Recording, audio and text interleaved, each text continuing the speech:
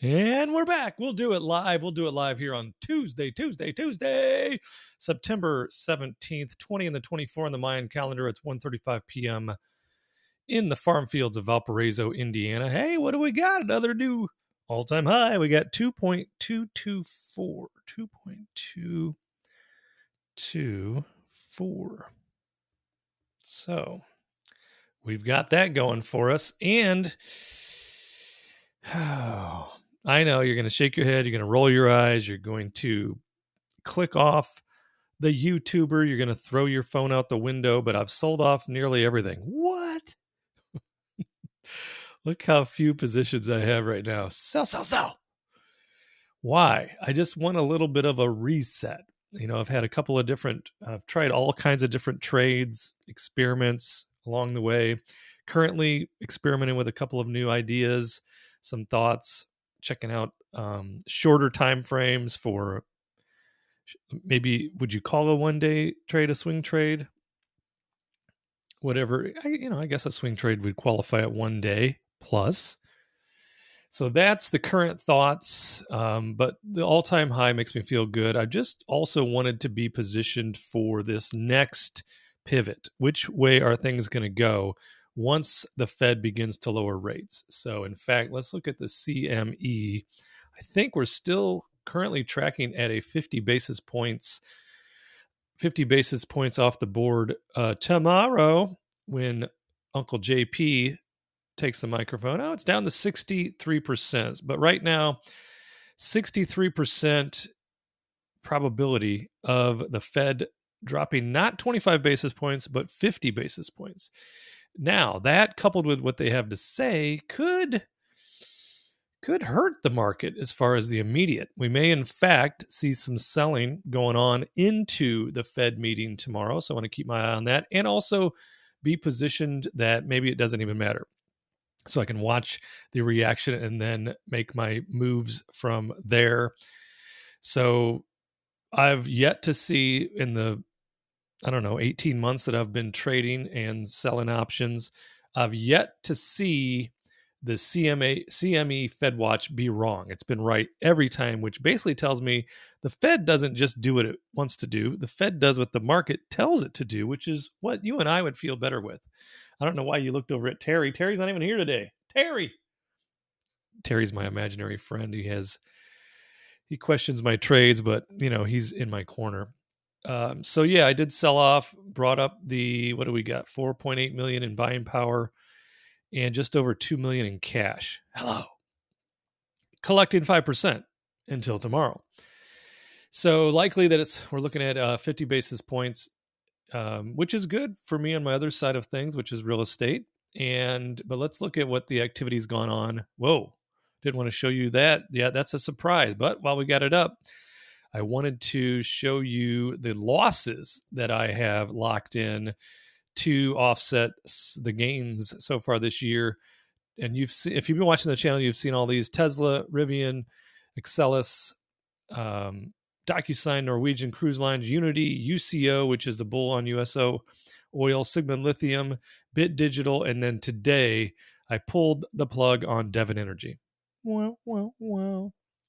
So they were up today and they may they'll probably now go up like 5 bucks a share over the next few trading sessions, but again it was like eh, enough butt stinking. I'll just move on with my life. And I haven't, re- I honestly, and you know me, I've got two superpowers. One is I don't suffer from FOMO, and the other is I've never been bored. So when I trade these off, it doesn't matter when Tesla rides back up. Uh, it really doesn't. I'm not saying that just to make myself feel better. It's actually true.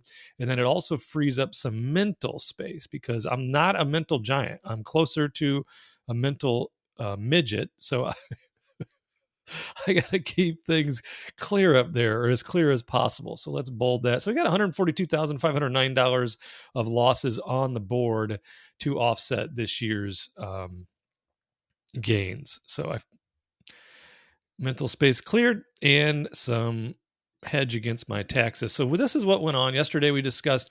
I thought Bitcoin's um, chart was looking really good, so we had it up here. I've already pulled off the um, the Fibonacci retracements. Um, but I think the next move now is down. So from where we're at here, we had a nice run to 61. Need a little bit of a pullback now. Not that we're going to get it. I mean, depending on the reactions that go on tomorrow, uh, Bitcoin could skyrocket or it could dump down into low 50s, maybe even into the 40s by the as soon as tomorrow and as late as next week. So I don't want to alarm anything. Wait, you just said it might go up, then it might go down. Yeah, that's exactly right. So it was looking really ripe yesterday. Um, and we got a huge move. That was the blind squirrel trade. I like making those. So, you know, to blind even a blind squirrel on occasion finds a nut. So we did buy a thousand shares of uh, IBIT at 32.75, and then I sold it uh, for 33.50, and it ended up. Where's it at now? It's probably I, again. I don't suffer from FOMO, so I can look it up without crying in my milk. So it's a way higher than 33.50. I know it. Look at that. Where did I get out? Where did I get out? Uh, way down here. I got out way down here and I missed the actual boom. Boom with the attitudes was at 3470. Oh well. I made 750 bucks, put it in my skinny jeans and I'm fine with it. Uh, did buy 2,000 shares of BITO yesterday, 1743, and then I did sell them today at 1845, those 2,000 shares. So I did profit $2,020. This morning I got into SOX S, which is a bear on semiconductors. I bought at 2333, set my stop at 2285. Then I'm like, hey, I'm good at 2440 and locked in a 1070 profit. Let's look at that just to see. I don't, once I sell them, I don't even really look unless it's for um, entertainment purposes for you only. So let's see. Oh, I'm, oh, that's not much of a difference. I'm like, hey, I sold at the top. No, I missed the top a little, but I did sell it right there at 2440. And I think I was in the trade for an hour. Let's look. No, maybe. So let's see. Uh, we bought three hours ago, and then I put in the stop loss, canceled that, and then sold. So I was in for an hour. Is that an hour? Is there? Is my math off? Eleven oh seven Central Time. Bought and twelve thirteen sold. So yeah, so just over an hour we had that trade on. And right now, I'm, you know, I feel really good about where I sold because I don't even have to watch it anymore. I don't have to worry about not making money on the trade. And that's exactly the, was the same mindset with the IBIT. I'm like, I'm just taking my money now. And yeah, I missed probably another what, thousand bucks? Almost a thousand bucks, but that's okay. So we've had a nice, uh, nice few trades there need to put my Devon sell up here as well um, for the record. Actually, I know what I sold at. I wrote it down somewhere. No, I know where I sold. It was 5K shares or 5K at 40 40.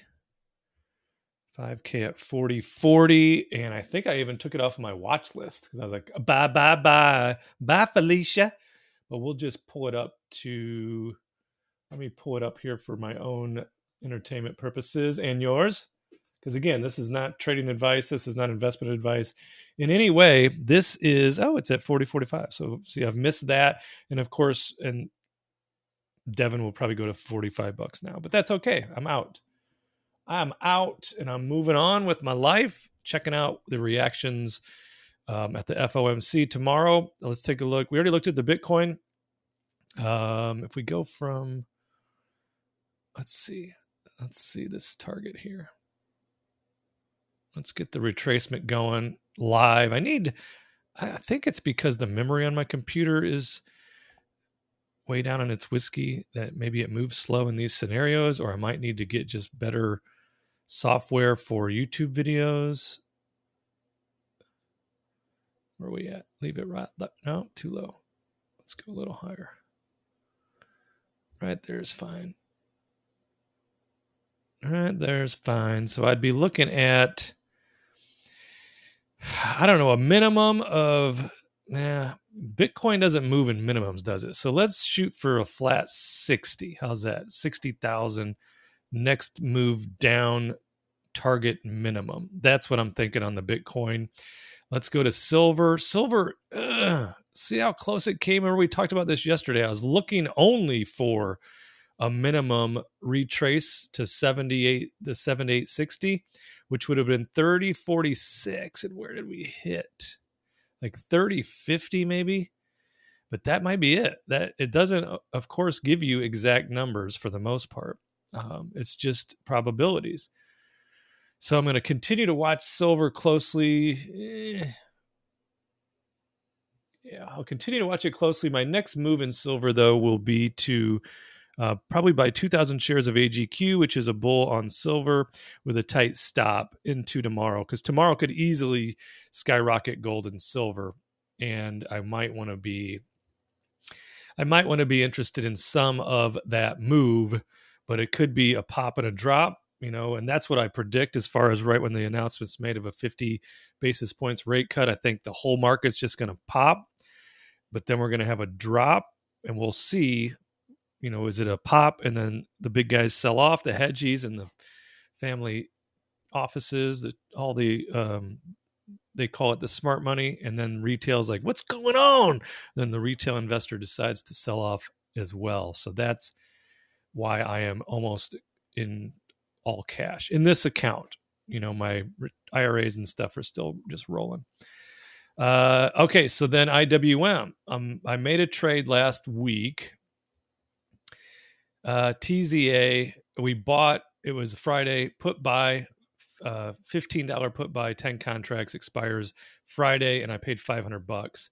Right now, that trades down in its whiskey. Let's look at it because it's on IWM, which is this is a uh, bear against IWM, has only gone up since then. TZA, there it is. We're down 240. That's actually not bad. I paid 500, so we still have 40, 48% in there. Or I should say it's down 48%. I still am holding out hope on um, the TZA, and I still think my BITO shares are going to be safe by the end of the week, even though I'm way down on my whiskey right now on the 1750 calls on my remaining 6,000 shares because I did sell the 2,000 shares I bought yesterday. I've sold those today as we went through. So, what am I looking at? I just put up the uh, fibs on here. Here's my target. I'm looking at a minimum of uh, 217.48 on IWM to 214. I don't think it's going to get down to 214.94, but it de- depend on that pop and drop tomorrow if indeed that's what happens. I could just get blown out of the water and everything just runs through the rest of the week. So all the options are on the tri- table. I'm just looking at the probabilities. So I may also what did we what did I may also buy um, some TZA with a very close to the vest stop. Where are we at on it right now? Oh, 13.99. That's what my target was is to get it back in the 13s. Whoa, I just missed it. I'll wait. I'll try to be patient right here. I'd love to see a 13 handle. Um, and then I might buy I might buy 2000 shares, uh, you know, with a tight stop on that, which I could get stopped out before it makes its run. So maybe it won't be t- it'll be tight but not too tight. How's that? I don't know. You just like to say a lot of words. I really do, but I like to say those words to you. Oh, another funny thing today I found. This is a picture on the Packers website and there's the Fab 5. I sent that to all the on the Fab Five uh, text thread, and then they all like Maya did a zoom in on my face, and they've been making fun of it ever since. So there's your friend Bart. There is Sparkle Barbie. There's Kid Two. There's Kid One, and there's Kid Three with his Bart Starr jersey on. And then I told you about that family of five from Fort Wayne, Indiana. Looks like we got one guy either doing the um, what was that thing called that Cam Newton used to do, and all the kids started doing it um, you know you're old when you can't think of that. I think he's doing that or he's sneezing. So there's the three boy Packer fans. Here's the dad Packer fan that I said looked like Brett Favre on his profile. There are the two, the mom and the daughter Colts fans. And this girl actually has her long sleeve shirt off with only a sports bra on it, which we encouraged her to do because she was it was so hot at the beginning of the game. And she was pouring sweat and basically in tears, like crying about how hot it was.